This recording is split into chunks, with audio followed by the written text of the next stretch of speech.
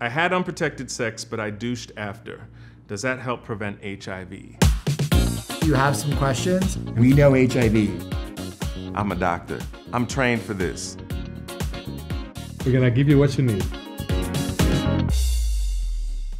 The short answer to that question is no. If you douche after you have sex, uh, that's not going to wash the HIV out of your rectum if you do uh, get exposure with someone who is living with HIV. But it actually may in irritate the inside of the rectal lining. And when it irritates the rectal lining, there may be bleeding that you can't even see. And when you have bleeding in the rectum, that's when HIV can really get in and cause an infection. So the short answer to your question is no, and just be careful about when you're douching. And if you do have questions about types of douches or enemas that you want to use to clean, either before or after anal intercourse, make sure you talk to your medical provider about it.